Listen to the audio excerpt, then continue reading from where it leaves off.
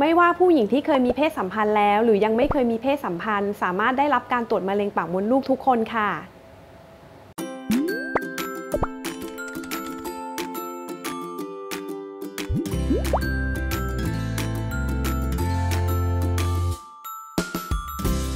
หนึ่งค่ะ คนที่ควรตรวจมะเร็งปากมดลูก คือผู้หญิงทุกคนที่เคยมีเพศสัมพันธ์ครั้งแรกนะคะ หรืออายุ 21 ปีขึ้นไปค่ะ ควรตรวจประจำสม่ำเสมอทุกปี 2 ค่ะ คือผู้หญิงที่ยังไม่เคยมีเพศสัมพันธ์ แต่เมื่ออายุ 30 ปีขึ้นไป อันนี้เราก็แนะนำให้ตรวจมะเร็งปากมดลูกเป็นประจำทุกปีนะคะ